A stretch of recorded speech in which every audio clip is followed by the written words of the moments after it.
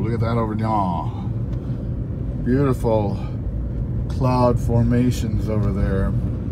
Um, we're now at 710. Uh, just had a wonderful time talking with uh, one of the phone people at uh, Thrifty, and uh, he just was very, very helpful.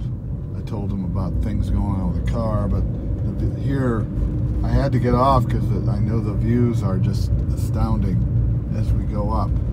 And uh, we will continue going up and continue doing what we're here to do, which is help the energies shift big time uh, over the 555.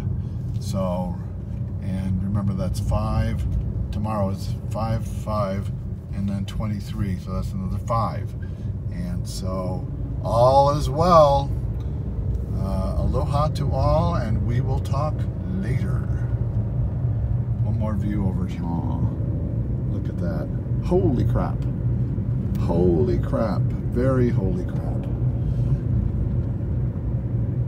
Oh, nah.